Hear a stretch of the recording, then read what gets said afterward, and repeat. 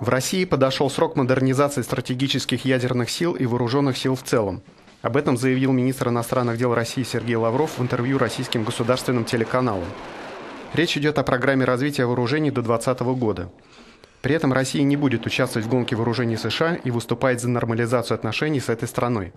Абсолютно заинтересованы в том, чтобы эти отношения нормализовались но э, не мы их разрушали. И теперь нужно как-то, наверное, не знаю, назовут ли это американцы перезагрузкой, когда после э, серьезного э, отката отношений назад в последние годы Буша-младшего, они придумали уже при администрации Обамы вот этот термин «перезагрузка».